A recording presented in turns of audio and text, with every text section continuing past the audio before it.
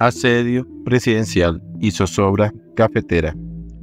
Los recursos del Fondo Nacional del Café no son del pueblo, como clava histriónicamente Petro, son de los cafeteros. Andrés Espinosa Penguar, para portafolio.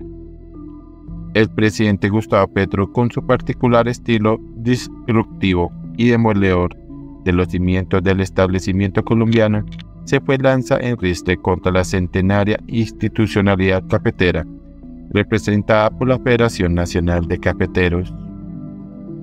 En una actitud vengativa contra la cúpula gremial, derivada de la designación democrática y estatutaria de un candidato para la gerencia de la federación que no era de su cuerda, el ingeniero huilense y emprendedor cafetero Germán Bahamón, el mandatario inició su campaña para demoler los cimientos del gremio, que desde 1927 representa y defiende con sentido de patria los intereses de las 540.000 familias caficultoras a nivel nacional e internacional. Para fomentar la división y poner en jaque a la Federación Petro y su ministra de Agricultura Jennifer Mujica, fraguaron una espuria asamblea cafetera con la presencia de 1.700 representantes de pequeñas asociaciones y cooperativas, a quienes les prometieron 400 mil pesos por asistir y agitar las banderas gobiernistas.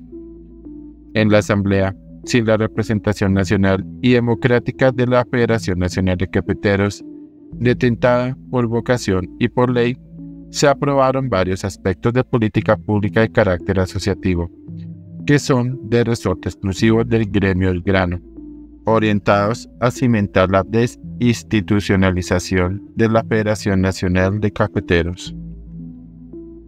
Petro pretende además derruir la base social cafetera para instrumentalizar en contravía de la Carta Magna, la constituyente cafetera, que a través de la cooptación y dependencia que generan los subsidios oficiales pueda sumar votos al menguado electorado petrista para las elecciones presidenciales de 2026.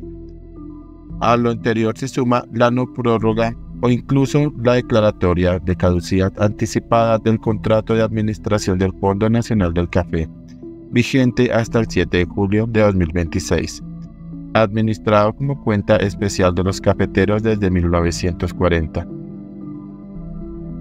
El fondo cuenta con un patrimonio de 530 millones de dólares e ingresos anuales de 588 millones de dólares, generados por la comercialización internacional de café verde en 21 países, la venta de Bancafé liofilizado, las tiendas de Procafé y las actividades de Alma Café de Colombia. Para Petro, los dineros del Fondo Nacional del Café son del pueblo colombiano. Graso error cometido a ciencia y conciencia con fines políticos. Las contribuciones para fiscales del Fondo Nacional del Café, concebido para impulsar y fomentar una caficultura eficiente, sostenible y competitiva, son recursos públicos que no ingresan al erario y hacen parte del presupuesto nacional. Su destinación específica solo puede beneficiar por ley a quienes efectivamente los aportan. En consecuencia, los recursos del Fondo Nacional del Café no son del pueblo, como clama histriónicamente Petro, son de los cafeteros colombianos. Desconocen su naturaleza legal, atenta contra la estabilidad y la sostenibilidad de la caficultura colombiana, que tanto y por tanto tiempo le han aportado a la economía nacional.